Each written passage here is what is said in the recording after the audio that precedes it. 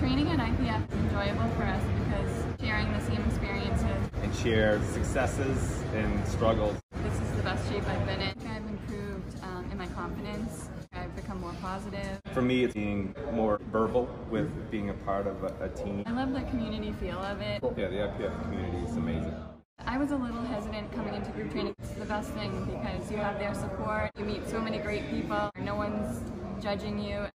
Everyone's so pumped up for people to do their best. I think that's really the only barrier is be the best person you can be. The difference about this training experience, they care about what you're doing at home. You cannot get pushed working out by yourself. And you know, you may think you are having success, but in the group setting, the workouts are so much more efficient and you see results. I mean, I think that's the bottom line. Thought I could never do it before I came here, but you can do Want it. to achieve results and make a change, it's something that will happen.